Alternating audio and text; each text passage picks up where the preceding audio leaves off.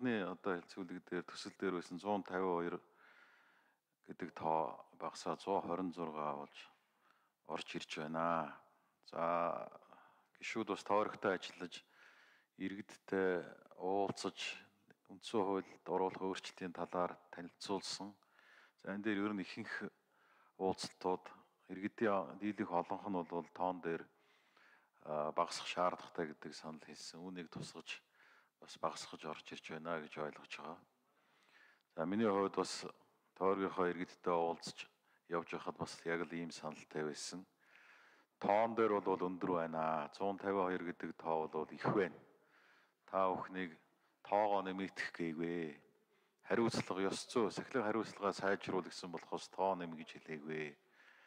гэдэг ийм зүйлийг бол ярьж ирсэн. Хэрвээ тоо нэмэх шаардлагатай бол одоо 99-өөс 120 хооронд нэмбүл яасан гэдэг ийм зүйлийг бол ярьж байсан.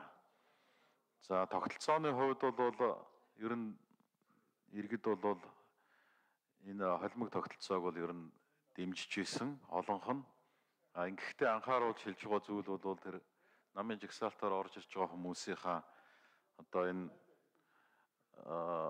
жигсаалтан дээр одоо онцгой анхаарах хэрэгтэй. Элдв хэл аманд орсон ийм хүмүүс одоо жигсаалтаар орж ирэх вэ гэдгээс бол маш их болгоомжлж хэлж байсан.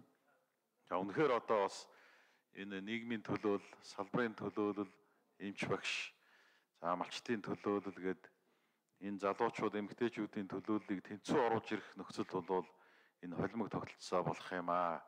Үүнийг одоо яаж энэ төлөөллөг оруулж ирэх дээр анхаарах юм.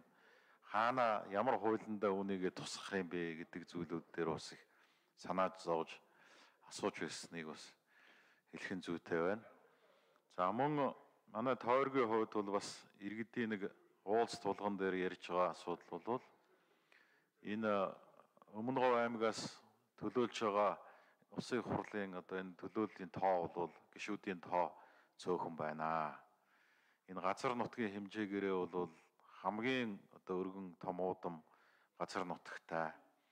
За мөн одоо эдийн засгийн хувьд бол Монгол улсын нийт эдийн засгийн тал хувь нь одоо өмнө говьт бий болж байдаг.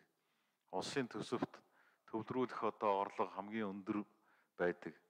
За сүүлийн үед одоо томоохон бүтээн байгуулалтууд хийгдэж за мөн одоо хүн амын тоо механикаар хурдцтай өсөж байгаа.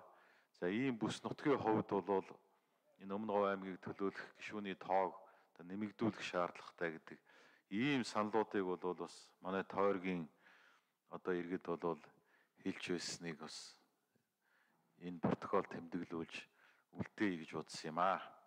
За баярлалаа.